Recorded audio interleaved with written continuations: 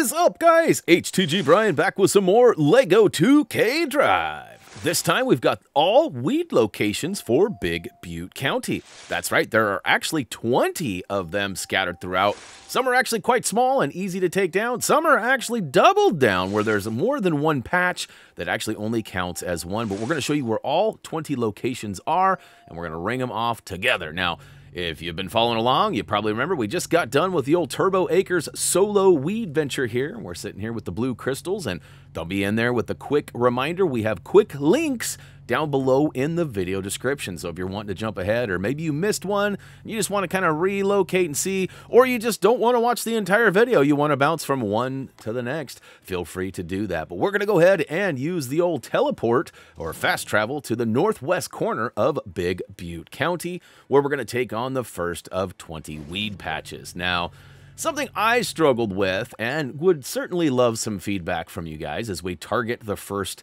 location we're going to take on here is the labeling. You can see right in the middle, we've got number one weed with the weed icon next to it. Now, we're happy with the weed icon. What we're not happy with is the confusion of it just doesn't feel right. It seems like I should have put weed number one, but I got number one weed, and then number two weed, number three weed. You guys tell me what seems more appropriate. I mean, I'm not necessarily looking for the best grammar or proper grammar, but like, what seems best to you? I feel like I'm to switch it, and it'll probably be weed number one in the next video. We'll see. All right, we've officially arrived at our location right here. It's uh, just in the corner of the old, I guess it's kind of like the dirt trail, the white dirt trail. It's kind of weird because Show me some white dirt, huh? It's like uh, in Tommy Boy, I found white mud. I'm going to be rich. All right, you might have noticed I went ahead and did a little cut there so we didn't have to watch me mow the entire patch. I've done that with all of them just to kind of speed up the video. It was over 35 minutes long, and uh, by taking that little section out, just sort of fading from the beginning to the end, it actually sped it up quite a bit and cut the video in half. So, hey, right over the hill here, we've got patch number two, which each time I'm going to go ahead and show you on the map where I'm going, and then I'll show you once I get there as well. We've gone ahead and taken down all of the weeds in this particular patch, giving us the second one done, done, did. All right, so on to the next. Now we're kind of going in a uh, counterclockwise motion here from the top left corner, and we're just gonna zig and zag all the way across. Now I did make a mistake. I jumped over one of my points on accident. Uh, we'll get to that. It does not affect us in any way. In fact, it worked out quite nicely because there is a fast travel point right just north of where it was, so it worked out perfect. We were way off on the side, and it's actually the final one, so you'll get to see how it all goes down. All right, we've made it to our next marker, and there wasn't a weed on the exact location, so I'm going to go ahead and remove the marker and show you right where I am. And there they are, the big patch of weeds. Now, uh, one thing I didn't cover at the beginning of this video, because we kind of uh, covered it in the last couple, was the Choppa, the Weed Choppa 5000, and how to unlock it and how to equip it. It's important that your off-road vehicle is the Weed Choppa, otherwise you're just going to be slowed down by a bunch of weeds driving through them. So... Uh, make sure you do that. Go ahead and check out our how to unlock the lawnmower or the weed location for Turbo Acres, which covers that as well. I figured that two videos was enough. We didn't need to do it on every single one.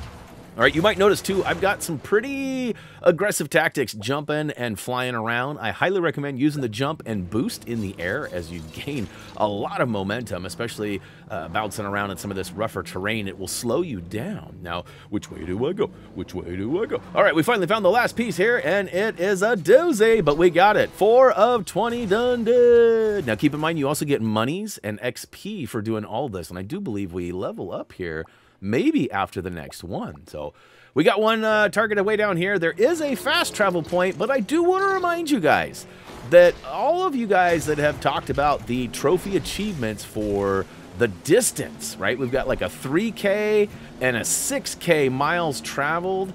I bet you you guys are using the fast travel a lot.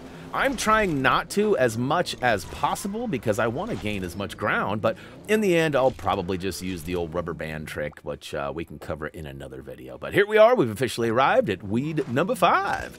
We'll go ahead and start chopping down. You can see there's actually a whole patch across the street too, which turns out to be another location, not the same one. So look at that, five of 20 dun, dun, dun, We're jumping for joy, and we're going to go ahead and pull up our map and drive right across the street because that's where the next location is. Now, speaking of locations, I do want to take just a quick hot second here to go ahead and give a shout out to my guide writer, Tyler P., who has done it for us yet again. He has documented all of the locations of the collectibles and much, much more, and uh, I couldn't have done it without him. So big, big time shout out to the Tyler P. All right, this next one is uh, so I, I, target this next one and I drive up the road here, and for some reason my brain checks it off that it's the next one more north. That's right. There is another one just a little bit higher north from this one that we're about to roll up on. And I accidentally skip over it because, uh, for whatever reason, I thought we were doing it right now. And that ends up being the final one that we come back for. So uh, you'll see it. You'll see it. All right, I'm going to go ahead and drive all the way up to the top and back down. We did a little cut there to edit out that long, lengthy process of taking down the seventh patch. But uh, we got it done, did.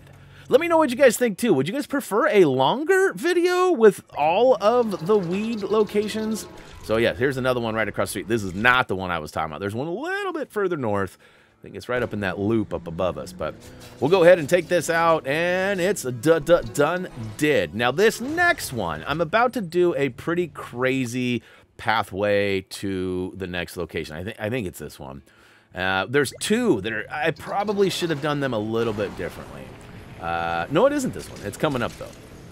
It's coming up. This one was all the way up and around. That's right. This one took me a minute to find, and thank goodness I'm a good editor, because I had to go drive around for a couple of minutes to find this one.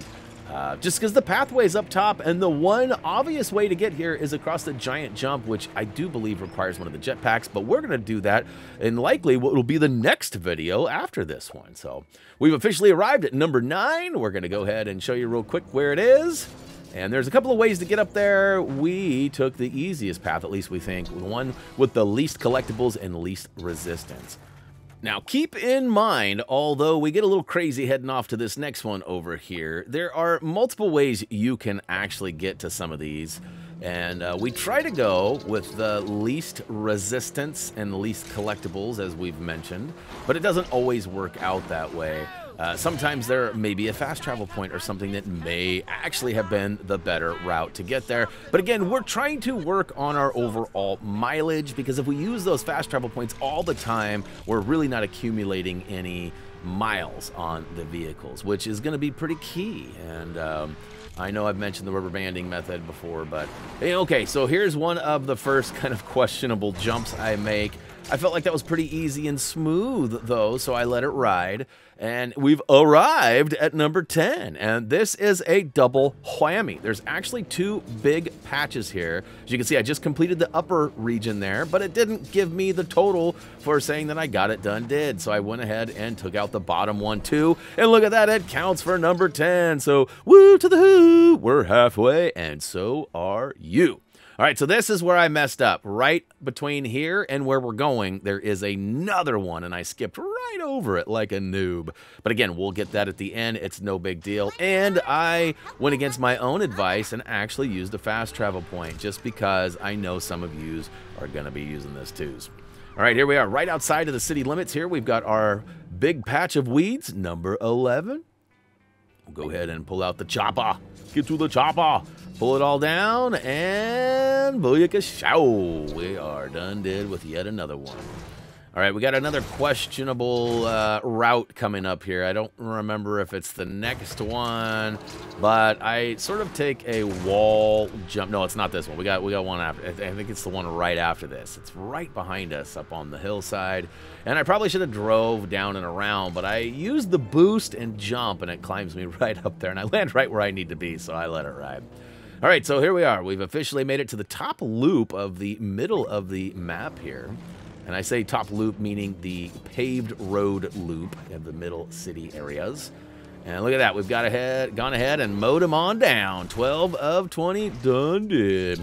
Jumping for joy. We'll go ahead and pull up the map and show you where the next location is, even though it's just literally right across the street. And pull out the chopper.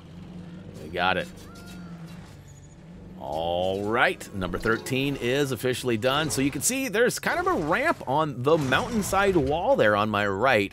And I take advantage of that by boosting and then riding up the wall. And once I get sort of towards the peak, I actually hit the jump button and continue boosting, which sort of acts like an aircraft at that point. So uh, there are other ways to get there. In fact, you could just go off to the left side of the mountain there and follow the road up here. That's another way. So if you're having troubles with that jump, just follow the road around. You can see on the map, you follow the pavement all the way over to the white off-road, and it brings you right up to the tippy top where we are and doing the chippy chop. That's right. All right, 14 done. There's a rainbow brick up there. I'm pretty sure that's what that is. We'll be checking those out in a future video as well. All right, next up, we're going to go ahead and target number 15, which is up in the middle of the figure eight, in the middle north section of the map. And here comes another squirrely jump, I do believe. This one, I'm going to use the ramp on the wall here to go straight up. I mean, look, that just looks like a jump. And again, uh, there are plenty of ways to get up here. Uh, you could actually come from the northwest, northeast. Uh, you just got to get to that figure eight on the map. Um, in fact, there is a garage up here too. Oh no, it's a race. I'm sorry. I thought that was a garage. My bad. It's on the back side of this race right here, though. And right inside the fence line are tons of weeds. Now, if you have not completed this race here in Big Butte County, which we sort of recommend playing through as much of the story as possible before really focusing on the collectibles, just because you get better vehicles that have, uh, you know, better jump, better speed, better things, a little, little bit more diversity. But ultimately, you could choose to do it how you want. But those weeds are gone, so they will no longer slow you down in that race. They will actually help build some health and boost for your vehicle. So, woo to the hoop. There's some monies up there. I like money. I think you do too. We all like money, I'm pretty sure. All right, just making my way over to the next checkpoint here, which uh, we've got on the map. It's way over, kind of southeast of where we just was. Not really that far south, but definitely east. And once we get there, of course, we'll pop open that map one more time and show you where we is. Ooh, look at that. I came ripping through I think I took out a middle patch there. All right, we'll go ahead and pop that map over. There we go. So basically just southwest of the top right fast travel point there. And after we chopped them all down, woo to the who. Celebrate number 16 and only four more to do. Do believe there's one right across the river here, a little bit closer to that fast travel point. In fact, one could fast travel there, but again, you're going to lose out on a couple of miles anyways, or maybe a mile. And look at that, right in between where we was and the fast travel point is the next patch, number 17. Now, the next two are actually almost side by side each other, and I gotta be honest, when I got them both done, I had planned on those being the last ones, and I realized right about now, I'm like, wait a minute, there's only two left. But technically there was three because I overshot that other one. But these two are side by side right at the bottom of the old dirt road on the far east side, right in the middle. So pretty easy to locate. And uh, unfortunately, there isn't a fast travel point to get there, but you could always use the one up in that top right corner that we just came from and get ripping south. There we go. There is the patch right in front of us. And there's another one to our right. These actually count as two, so that's going to be 18 and 19. Right now, I'm literally like, oh crap, what have I done? And I was really worried about trying to figure out and find where the last one was, but then I kind of just went over everything and went, wait a minute, did I ever get that one? And the first one I went to was the one, so it worked out perfect. So even I make mistakes sometimes, but uh, usually I find a way to clean it up and make it work. And it worked out perfectly. So, all right, right across the street from 18 is 19. We'll go ahead and rip through those and we'll pull up the map and we'll show you where that lost one in the middle of town was. So uh, it's actually going to be, oh, look at that, just to the left of the loop I thought it was. We're going to warp to that fast travel point right in the center of the map. Old e-brake, whip it around, and right along the edge of the main road here is going to be our patch of weeds. Look at that. We'll go ahead and pull out the chopper one last time for old Big Butte County.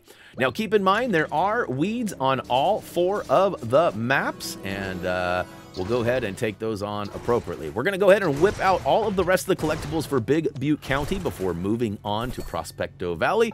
So uh, be looking at like jetpacks, experimental batteries, golden trophies, silver sprockets, things like that coming next. So, hey guys, if you have not already, please check out happythumbsgaming.com. We also got social media presence out there too. We'd love to see you over on our Patreon, maybe even give you a shout out depending on which tier you choose. As for me though, that's going to do it for now. As always, until next time. Soil.